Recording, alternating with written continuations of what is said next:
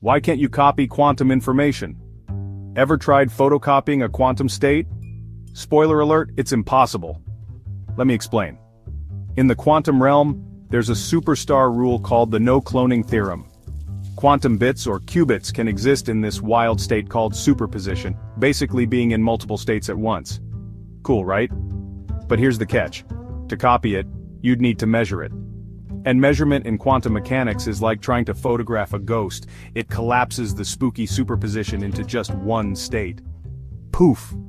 Goodbye quantum magic. Okay, so skip measuring and just copy it, you say. Nice try. Quantum mechanics only allows these fancy things called linear transformations and cloning. Yeah, that breaks the rules. Quantum mechanics is like a strict referee, no cheating allowed. This is exactly why quantum cryptography is so secure. Any sneaky attempt to copy or eavesdrop? It leaves a neon sign saying, intruder alert. In the quantum world copying isn't just hard, it's against the laws of physics. So no copy pasting here, my friend. Want more mind-bending quantum stuff? Hit that subscribe button.